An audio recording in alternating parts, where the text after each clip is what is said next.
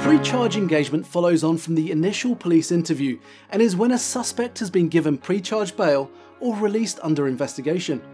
It's a voluntary process whereby defence lawyers and investigating officers are able to engage in identifying lines of inquiry that can be beneficial to your case. At SJB Legal, we assist clients on a regular basis who've already been interviewed by the police and wish for proactive steps to be taken in their case to ensure the best possible outcome. We may be able to identify lines of inquiry, which may include, but are not limited to, witnesses and digital forensic evidence. We'll then engage the police with written representations that such lines of inquiry are investigated to assist in your defence. We'll remind the investigating officer of their impartial role in the investigation process.